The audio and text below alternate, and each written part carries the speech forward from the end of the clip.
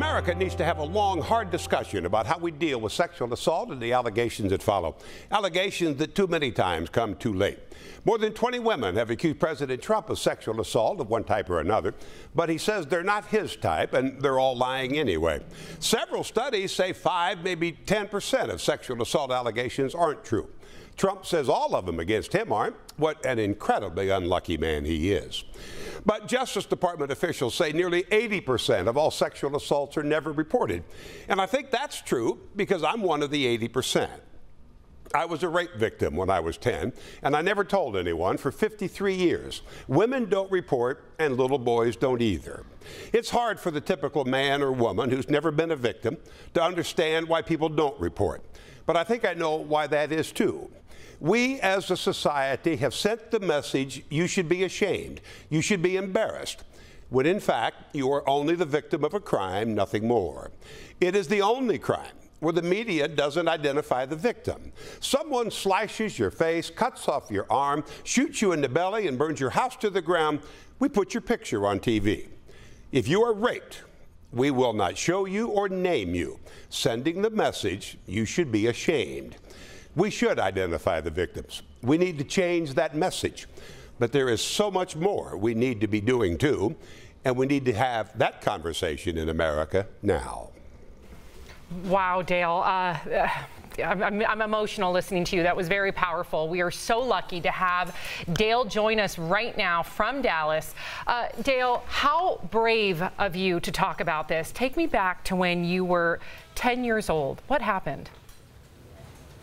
Well, it was a young boy who was uh, uh, the son of a rock, uh, rock truck driver who was just uh, coming through town. And um, he talked me into going down to the ballpark, hoping that we would play a little pickup baseball. And um, then he raped me uh, behind, the, uh, behind home plate.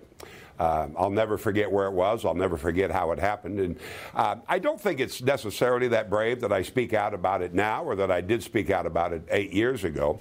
I think it would have been braver had I spoken up when I was 10.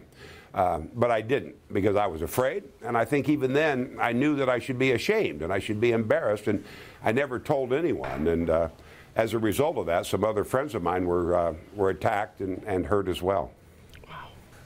Dale, Erica here. Um, it's a pleasure to speak with you again, and every time we speak, I cry. Um, thank you for being so yeah. candid.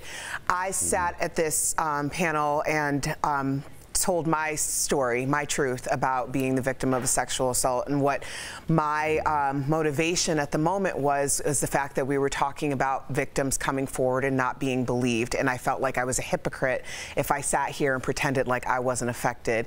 What was your motivation for coming forward? Well, I, I, came forward because um, uh, I, I, was having a glass of wine one night uh, with a friend of mine, a very conservative man, and it was during the Penn State scandal. And he started talking about how he didn't believe any of the kids uh, who were making the allegations uh, against Jerry Sandusky and, and the cover up at Penn State. Because he said to me, not knowing about my own case, that anyone who had ever been assaulted would absolutely come forward. And I'm sitting there knowing for a fact that it doesn't happen that way. And I heard from hundreds of people. And the one in particular that breaks my heart every time I think about it, um, a, a man wrote me and said, I'm 82 years old. I was raped when I was 14. I never told anybody. But if you're willing to admit what happened to you, I'm going to tell my wife today, and I'm going to call my children and tell them why I was such the bad father and such a bad man my entire life. I want to just know from you, Dale, I take every negative in my life and try to use it as a positive. And I, I want to be clear, nothing like this has ever happened to me before. How has this impacted your life over the years? Uh, the bottom line is, I think I, am one of the lucky ones. I, I, I really am. Uh, I think two things. One, I was able to deal with it um, easier than, than most people are. And then I think it did develop in me an empathy for assault victims that, that I might not have had. Why do you think so many thousands and thousands of people immediately side with the with the accused rather than than with the victims. One of the people here uh, at, Channel 8 in Dallas in management said that the reason the media doesn't identify the victims is because of the shame that's attached to the victims, as you point out, by so many other people on the outside. And, and I, my argument was, you're making my argument. Hmm. That if we're going to stand idly by while, while people attack the, the alleged victim, and we're just going to simply cover up the, the crime because we don't want to shame the victim, I think we become complicit in the problem. We appreciate you so much, Dale. We consider you family. We thank you for your story. We thank you for your empathy, and we really do look forward to hearing more from you on Daily Blast Live. Thank you, Dale. I appreciate your time. Thank you very much.